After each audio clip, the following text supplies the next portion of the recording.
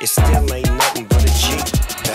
ਗਲੀ ਤੇਰੀ ਆ ਕੇ ਦਿਲ ਹੋ ਜੇ ਬਗ ਬਗ ਨੀ। ਚੱਕੀ ਜਾਏ ਸਪੀਕਰਾਂ ਦੀ ਸੋਹਣੀਏ ਜੱਗੀ ਜਗਵਾਲ ਕੁੜੇ।